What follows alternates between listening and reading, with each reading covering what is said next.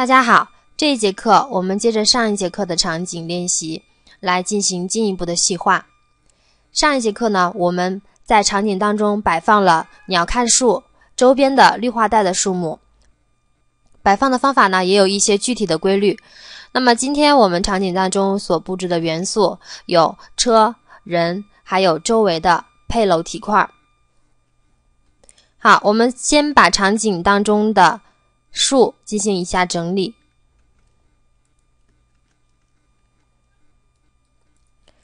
我们知道，在主工具栏当中有一个层，那么我们之前整理过的行道树和鸟瞰树可以进行隐藏。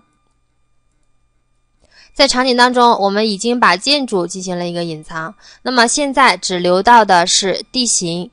我们需要在这些马路上布置一些车辆。那么这些车辆的摆放规律呢，也是成组团，有疏密变化。那么现在我们就来导入车辆，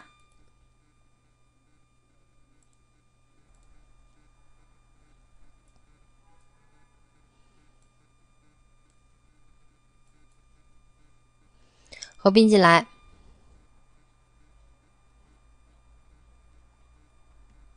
我们 Auto Q 单独来显示我们导入的车辆。大家现在发现我的路径贴图的路径现在丢失了。那么我的车辆的这个贴图怎么样去把它的这个贴图找回来呢？我们可以把材质编辑器打开，用一个材质球来拾取车辆。大家看这个车辆，它的固有色后面有一张贴图。我们来查看一下这张贴图。当我们点查看的时候，它并没有显示任何的窗口，也就是说明我这张贴图已经丢失了。那么我在上方这个位置呢，可以去把我的贴图的路径重新找回来。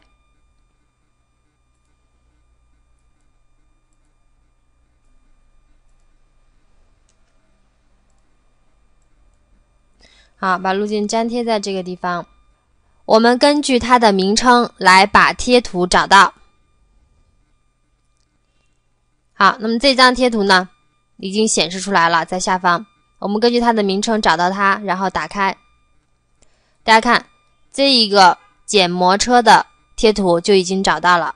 但是由于我们的车辆过多，我们不可能把每一辆车都拾取出来去把它路径找到。我们可以利用这个旁边的插件来把它的贴图进行一次性的找到。大家看这个阿库插件右方呢有一个资源收集。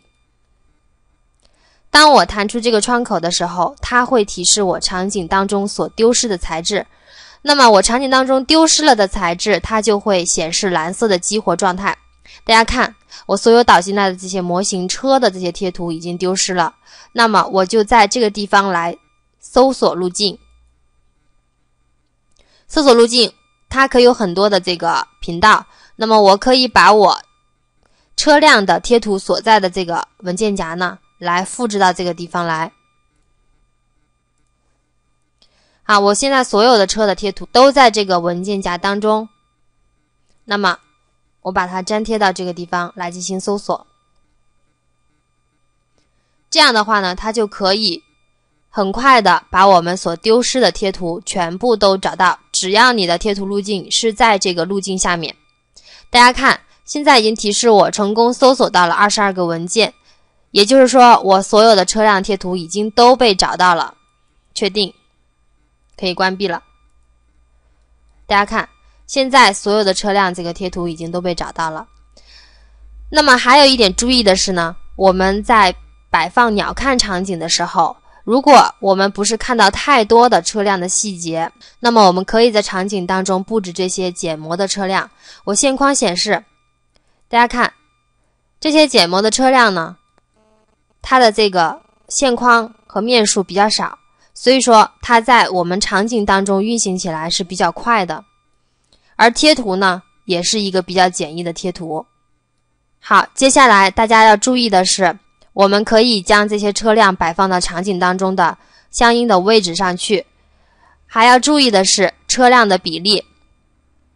大家知道，那么小轿车这种小轿车一般它的这个高度呢是在一点四到一点六米之间。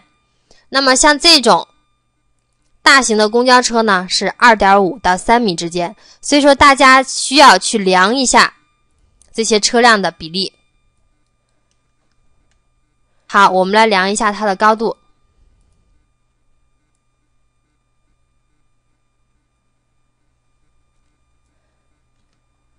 啊，我们刚才是在这个隐藏的图层里面去控制的，所以说我们画的这个 box 呢看不见。我们这样把这个我们所画的图层放到零的图层上面，然后我们再进行测量。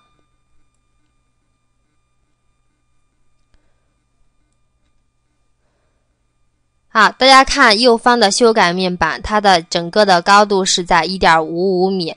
那么也就是说，我们这个小轿车的比例呢，是一个比较正常的比例。那我们再看这个公交车，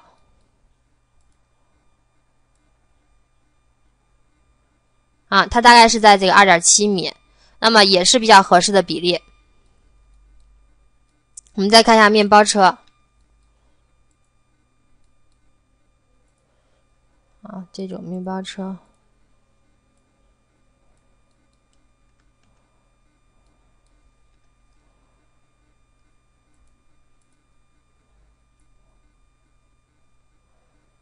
它大概的这个高度呢是二点五米，也是比较正常的一个比例。好，现在我们就把这些减摩车呢放入到这个场景当中。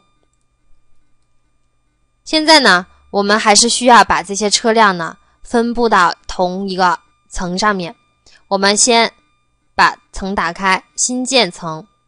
那么在这个新建层上面呢，我们把它输入车。好，车。在这个车的这个层里面，我们怎么样添加进去？上节课我们已经讲过了。我们在这个地方呢，可以通过名称选择，好，把这个车的这个名称的物体全部选中，好，把它添加到这个层里面上去，我们就可以对它方便的进行隐藏。或者是冻结。那么现在呢，我们需要的是把这些车放到相应的位置上去。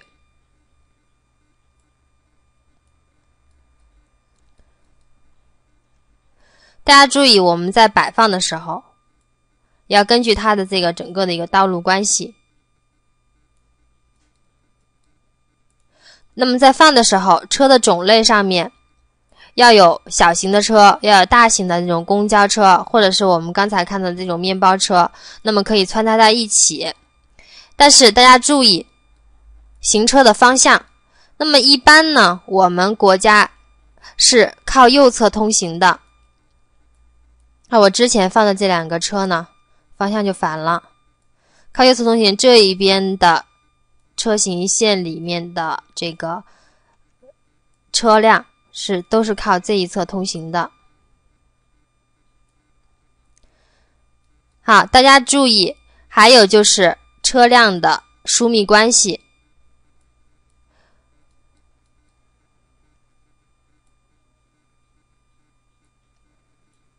还有疏密关系，也是成组，一组一组的分布。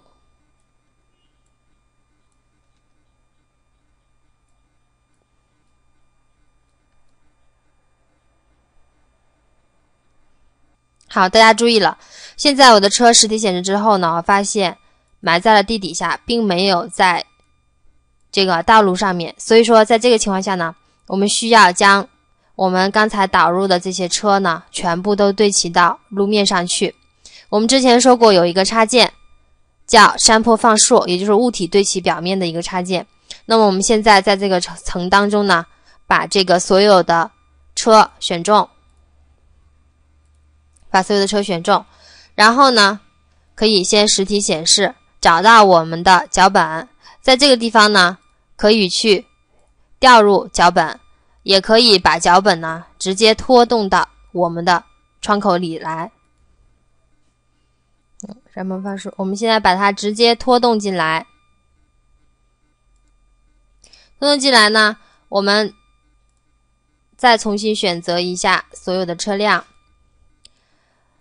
按这个地方物体对齐至所选表面，我们对齐到马路上来。大家看，现在的这个车辆呢，已经全部都在这个路的表面上了。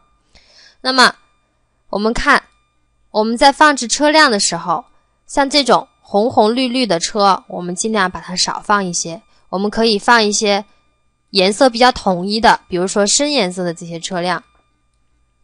那么在这个情况下呢，也就是说，避免我们画面中的颜色过多，以至于抢了主体。我们周围的环境呢，其实应该是一个在一个比较统一的一个颜色的色调当中。所以说，这种过跳、过花的这些车呢，我们可以尽量去把它少摆放。好，我们把这几个车颜色比较鲜艳的车呢，把它删除掉。好，重新来摆一些颜色比较深一些的车。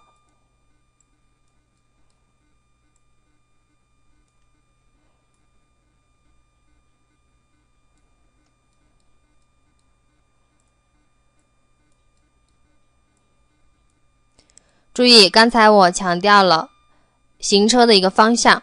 那么我们国家是靠右侧通行的。那么在这条道上，我们这边的方向应该是都是靠车头靠这一边。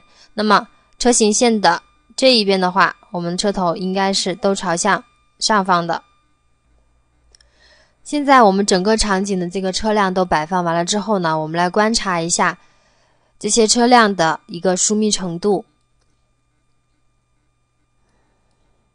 那么我们注意，在摆放车辆的时候，不要特别平均的分布，要有密有疏，形成一个比较自然的车辆行驶的一个状态。好，那我们现在来渲染测试一下。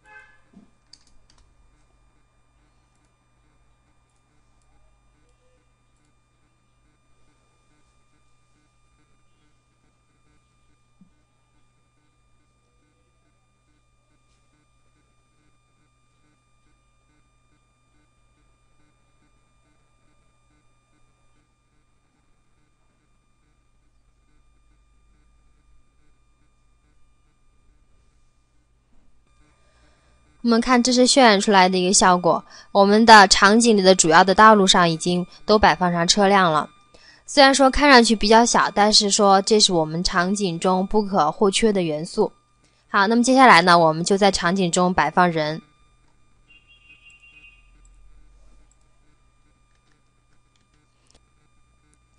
还是在场景当中，我们看，嗯，之前我们说过，摆放人的时候也要有疏密关系。特别是在靠近建筑根部和建筑的主要入口地方的人呢是比较多的。好，接下来呢，我们就在场景中布置人物。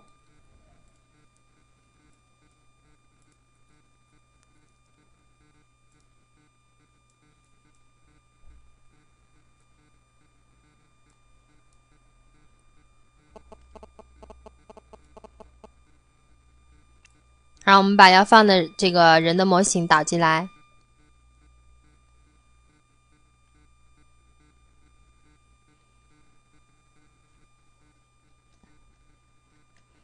Auto Q 呢，单独显示。好，大家看，现在我们导入的这个人物的模型呢，上身上的贴图也都丢失了，所以说我们还是运用的插件把它的贴图找到。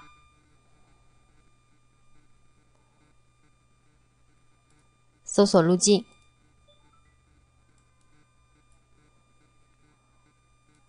到这个文件夹里去，把它的路径。复制到搜索里。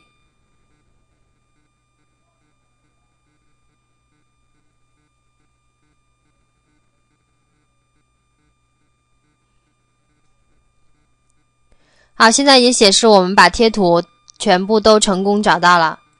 我们把这个关闭。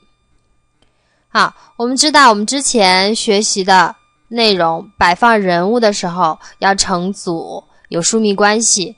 所以说，我们现在再将这个人呢摆到合适的位置上去，靠近建筑根部和主要入口的地方。那我们还是把这个人呢添加到人的这个图层里面，我们点添加。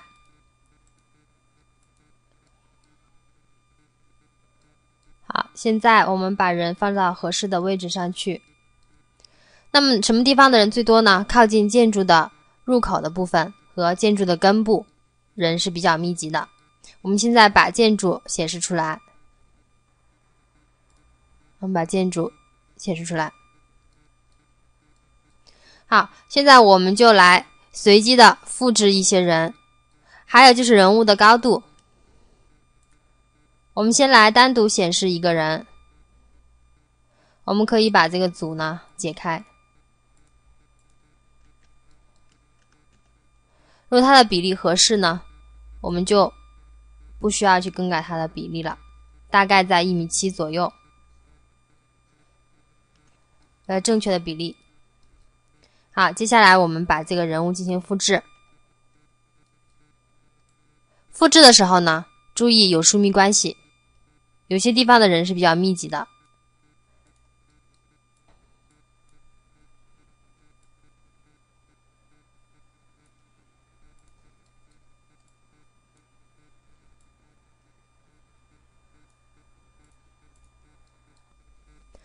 现在我们把整个场景的人都布置完了，大家看它的一个疏密关系。那么人的分布呢，跟树是一样的，都要成组。那么有疏有密的变化，这样的话，我们看起来的场景才是比较自然的。好，我们切换到相机视图，然后还是渲染一下，来看一下最后的效果。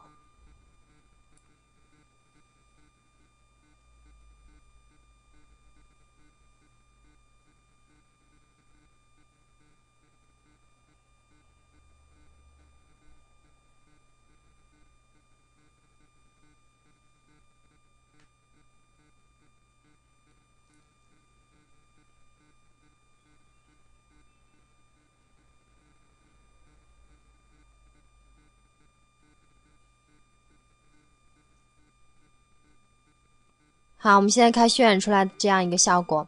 那么加上人以后，我们场景当中的这个元素又更丰富了一些。嗯，首先呢，我们来看的是人的摆放的位置。那么在建筑的主要的通道的地方，或者靠近建筑根部的人物呢是比较多的。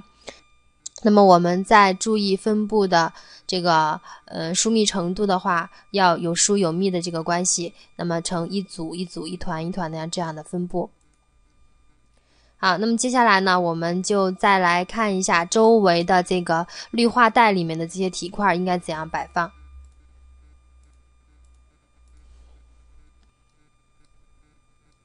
好，那我们还是把主要的这个建筑把它隐藏。车也可以隐藏，我们摆放过的人把它隐藏，那么剩下的就是说我们周边的鸟瞰树先把它显示出来，我们才能够确定我们体块应该摆在什么样的位置。好，然后我们找到之前整理过的体块，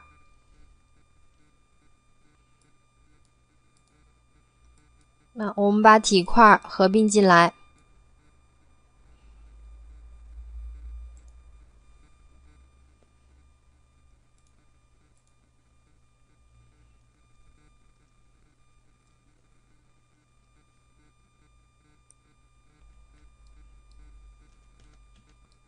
啊，我们来看体块的，嗯，一个整体的形态。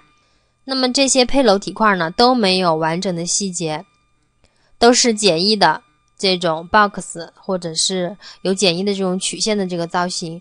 那么为什么我们这个周围的配楼没有像我们主要表现的这个建筑有这么多细节呢？因为就是说，它作为我们整个环境的一个配景的话，它不应该呃太繁琐，有过多的细节，这样的话会抢了主体。那么还有就是说，在颜色上面也比较单一。那么体块呢，我们基本上是应用到一个嗯蓝灰色就可以了，而且要给一定的透明度。那么在体块的高度上，在这个地方大家注意不要过高，因为我们场景里面的主体建筑本身并不是特别高，所以说把我们周围体块呢做的特别高，会影响主体的表现。好，现在我们就把这些体块呢摆放到相应的位置上去。如果客户没有特殊要求的话，我们只需要在绿化带当中适当的去示范一些配楼体块。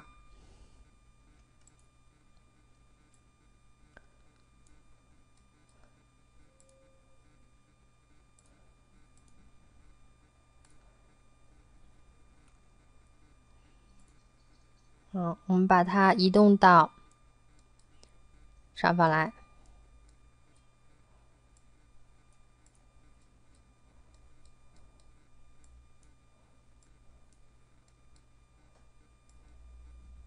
那么我们在分布的时候呢，排列的时候尽量要整齐一些。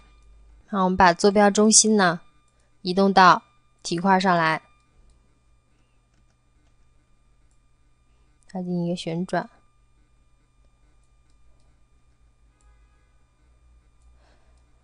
好，大家看，现在我们的这个体块的位置啊有所改变的话，那么我们这个树的这个位置也要跟着改变。我们把配楼体块体积稍微放大一点。好，然后选中过滤器的代理文件，我们把这个树的位置进行移动，或者进行删除。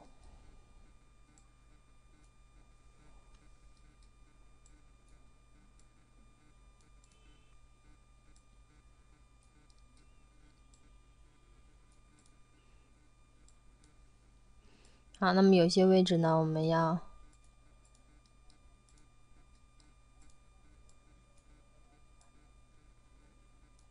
进行一个复制。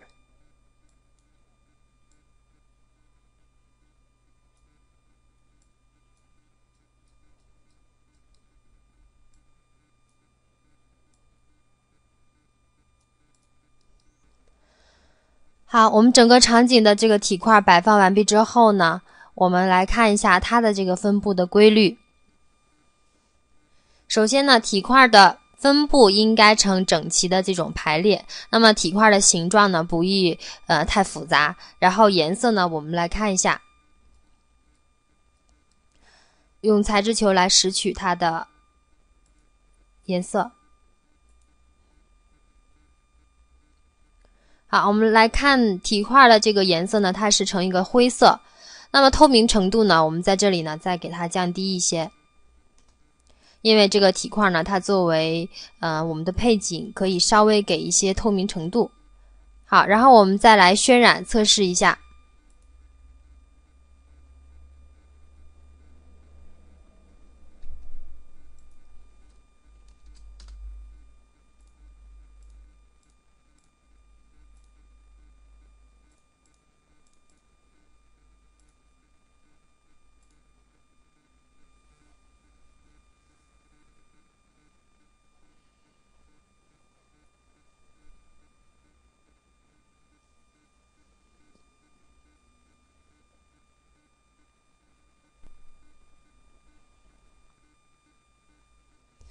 好，这是我们的体块分布出来的一个效果。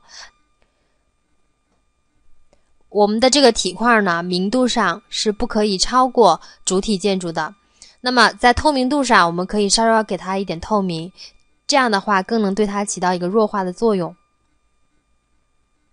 好，我们现在看场景中还缺少哪些元素？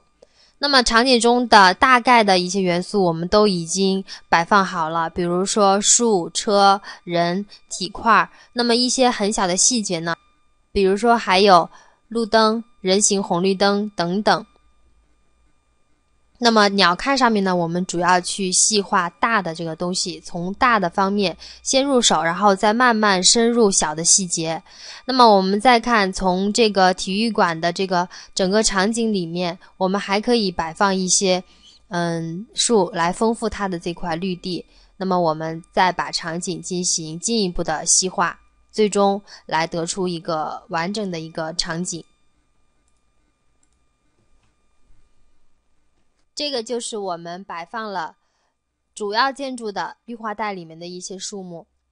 好，那么这些树木的分布的规律呢，也是成组团、成带状。那么在树形上呢，我们也选择了一种比较统一的一种树形，那就是树冠上比较丰满的这种树形。那么在鸟瞰上面看上去呢，这种树形看上去是比较自然的。好，那么我们再回顾一下，做一张鸟瞰的场景需要注意哪些问题？首先呢，我们拿到一个场景的时候，来分析这个建筑的类型。那么这个建筑的类型呢，是一个体育馆。然后我们再分析它的整个的道路系统。那么在道路系统的周围来布置绿化。在布置树木的时候，我们要注意树木的树形、树木的比例。那么周边的鸟瞰树可以体积稍稍大于行道树。在树种上面，周边的树呢可以有两种以上，颜色呢也可以有稍微的变化。而行道树的树种比较单一，而且距离呢比较均等。在分布上面，鸟瞰树呢要相对于自然一些，要有疏密变化，组团关系要成组团、成带状来分布。那么在主要的建筑的绿化带里面呢，我们选择这个树形呢，可以略微丰富一些。